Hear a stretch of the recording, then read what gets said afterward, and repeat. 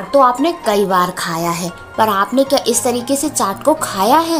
इसमें भर भर के घी डाला जाता है। तो भाई ये चाट की स्पेशलिटी है। इसी वजह से ये चाट का राजा भी कहलाता है। तो फ्रेंड्स ये है बनारस की फ़ेमस टमाटर चाट। आइए इस रेसिपी को बनाना स्टार्ट करते हैं।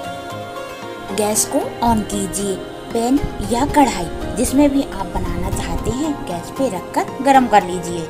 गरम करने के बाद आपको दो चम्मच घी डाल देना है। इसे रिफाइंड ऑयल में भी बना सकते हैं। चाट की स्पेशलिटी यहीं से स्टार्ट हो जाती है। कुछ शाही फ्लेवर्स हैं इसमें।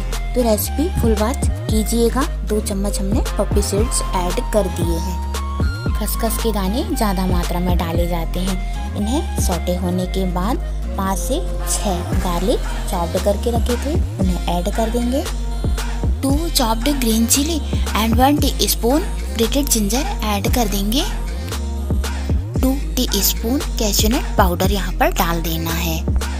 काजू को ग्रेट करके भी डाल सकते हैं या ग्राइंड करके इसका पेस्ट भी बना करके डाल सकते हैं, जो तरीका आसान लगे। मसालों को लो फ्लेम में भून करके तैयार करना है और स्टेप बाय स्टेप मसालों को डालते रहना है। हाई फ्लेम में मसाले जल जाते हैं।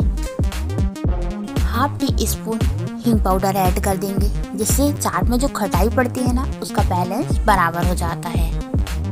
Two teaspoon coriander powder add कर देना है। इसे भी भूनते रहना है। हाफ़ टी स्पून हल्दी पाउडर भी ऐड कर देते हैं।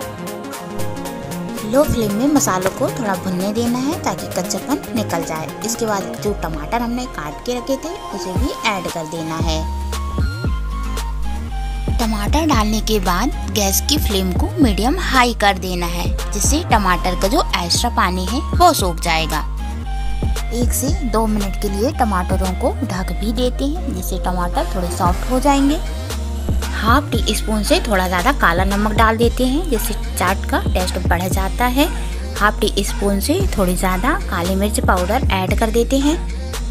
भुने हुए धनिया और जीरे का पाउडर भी यहाँ डाल देंगे और लाल मिर्च पाउडर भी डाल देते हैं। तो लाल मिर्च पाउडर थोड़ा ज़्यादा ही ऐड करेंगे स्पाइसी और चटपटा बनाने के लिए। मिर्च पाउडर थोड़ा ज़्यादा ही यूज़ करना पड़ता है। अपने टेस्ट के अकॉर्डिंग कुकिंग सॉल्ट ऐड कर देना है। आप चाहो तो यहाँ पर काला नमक भी ऐड कर सकते हैं। एक बार फिर से ब्लैक पेपर पाउडर ऐड कर देंगे। थोड़ा सा गरम मसाला ऐड कर देंगे। टमाटर भी सॉफ्ट हो गए हैं और मसाले भी भुन करके तैयार हो गए हैं। तो कुछ देर इन्हें और हम ढक के पकाते हैं, जिससे अच्छे तरीके से टमाटर सॉफ्ट हो जाएँगे। हम बनाएँगे मीठी चाशनी। तो गैस पे पैन गरम करने के बाद तीन से चार चम्मच शुगर ऐड कर देंगे। शुगर ऐड करने के बाद हाफ़ क्वांटिटी से थोड़ा ज़्यादा पानी ऐड करते हैं तो चाशनी बहुत जल्दी बन करके तैयार होती है। ज़्यादा पानी ऐड करते हैं तो चाशनी को काफ़ी उबालना पड़ता है। इन छोटी छोटी सी बातों का ध्यान रखते हुए हम किसी भी चीज़ की प्रिपरेशन करते हैं। तब हमारा खाना या नाश्ता जो भी हम बना रहे हैं, बहुत अच्छा बन करके तैयार होता है। One teaspoon cumin seeds powder add कर दिए हैं। इसको बनाने के लिए आपको क्यूमन सीड्स को रोस्ट करना पड़ेगा और उसमें थोड़ी सी हींग डाल करके पीस लीजिए। आपका जीरा पाउडर तैयार हो जाएगा। इसको आप चाशनी में डाल दीजिए। जीरे पाउडर के दाने अगर मोटे हैं तो आप चाशनी में डाल करके चाशनी को छान सकते हैं।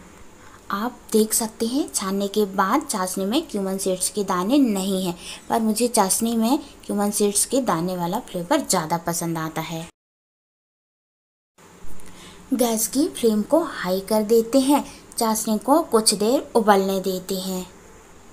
हमें एक या दो तार की चाशनी नहीं बनाना है, सिर्फ़ ये चेक करना है कि चाशनी थोड़ी सी चिपचिपी रहे।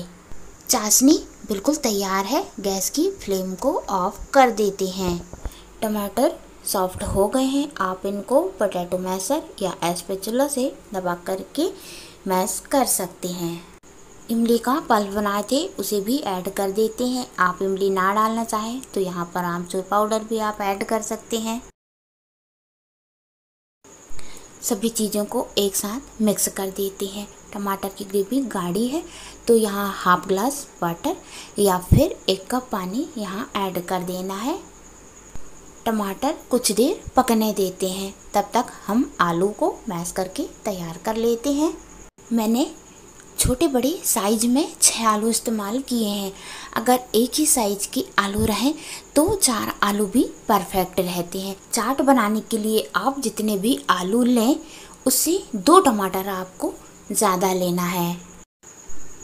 टमाटर तैयार हैं, मैश किए हुए आलू ऐड कर देते हैं। टमाटर के साथ आलूओं को मैश करना है और कुछ देर इसे पकने देना है। आलू मैश होने लगे हैं। लगभग इस प्रोसेस को करने में पाँच से सात मिनट का वक्त लगता है और ये टमाटर चाट बहुत आसानी से बन करके तैयार हो जाता है। झटपट बनकर तैयार होने वाला चाट वास्तव में शाही फ्लेवरों से भरपूर है।